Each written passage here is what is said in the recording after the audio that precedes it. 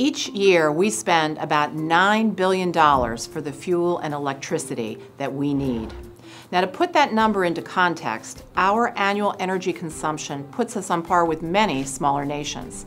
For example, we use more electricity than Costa Rica, and we consume about the same amount of fuel for our aircraft and ground vehicles as Ireland.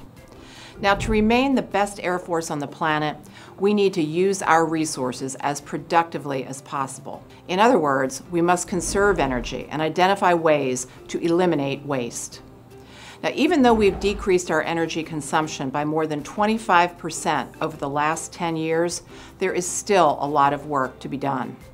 Since 2005, energy has taken an increasingly larger share of our budget, going from 3% to almost 9% in 2014. Now, one of my top priorities is to make every dollar count. And reducing our energy needs is one way that every airman can do that each and every day. Every gallon of fuel and every watt of electricity that we save allows us to focus more resources on other mission priorities. It's been said that practice makes perfect. Well, I say practice makes permanent.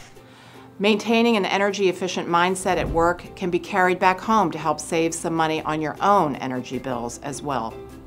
Now these actions might not sound like much, but with more than 660,000 active duty, National Guard, Reserve, and civilian airmen, a little bit from each of us can really become something very, very significant.